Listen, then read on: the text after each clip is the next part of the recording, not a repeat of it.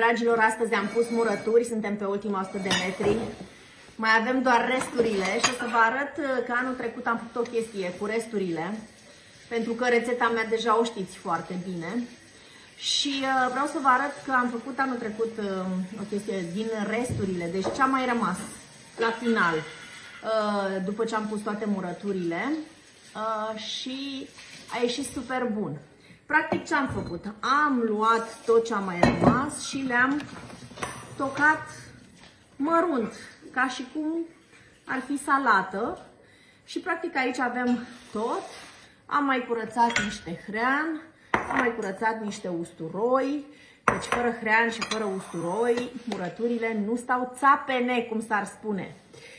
Bun, și o să începem și o să vă arăt că practic procedez ca la orice murături. Punem niște țelină aici pe fund. Așa. Punem niște usturoi.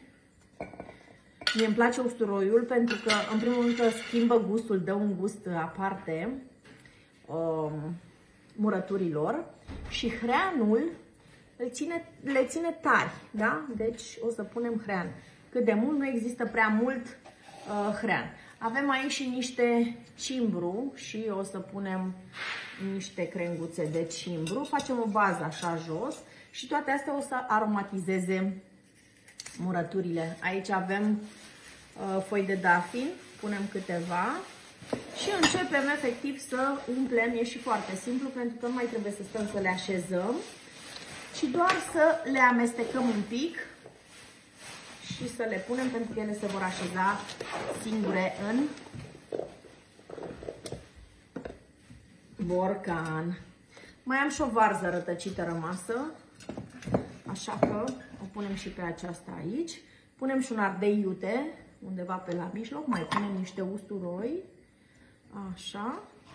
Mai punem și niște hrean să fie, așa.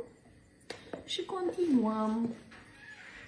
O să mă întrebați care este proporția, că de fapt asta e toată șmecheria la murături, care este proporția de uh, sare și apă. Mă duc imediat să pun totul la fiert și vă arăt și vouă care este proporția mea. Secretul la murături este să nu pui sare nici prea multă, dar nici prea puțină.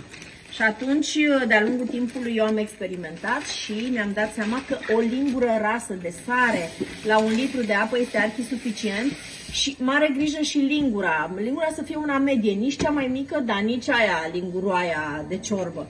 O lingură medie um, pe care o aveți voi acasă. Și am aici deja 8 litri de apă și trebuie să pun 8 linguri de apă. Una, două, uite, da, sunt rase. 4, 5, 6, 7, 8. După ce apa dă în clocot, mai lăsați 5 minute să fiarbă și vă arăt după aceea ce facem. Înainte să pun apa, punem și niște bețe de mărar. Mare grijă cu bețele astea, că fac o mizerie. Dar și ce bune sunt la murături, n-ați văzut așa ceva. Deci, dau o aromă extraordinară. Nu trebuie să puneți doar floare, puteți să puneți și bețe, că de-aia se cheamă bețe.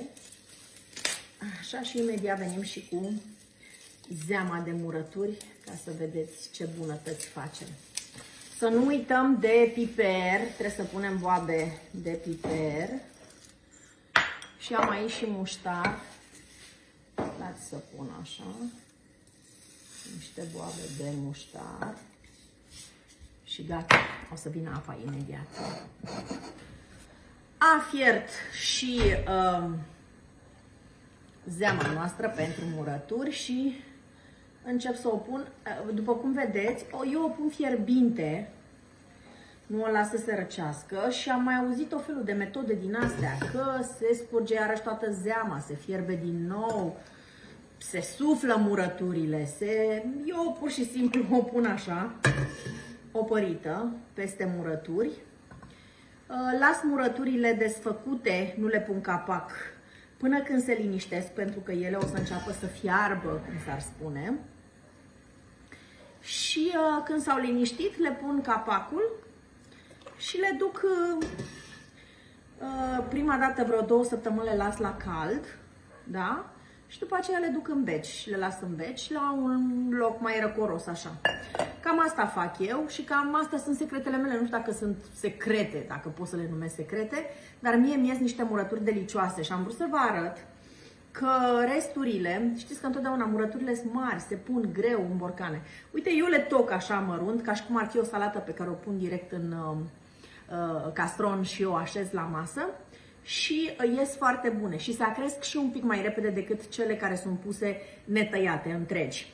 Așa că dacă v-am inspirat, uh, sper să faceți și voi niște murături așa bune și delicioase și să vă bucurați familia de sărbători sau când vreți voi să serviți niște murături delicioase. Poftă bună, dragilor! Și de ce nu scrieți-mi în comentarii ce alt fel de murături puneți? Eu nu mai pun, afară de astea, nu pun alte murături. Pune soacra mea varză la murat și mai pune și uh, gogoșari pentru salata de băf. Și în rest, gata!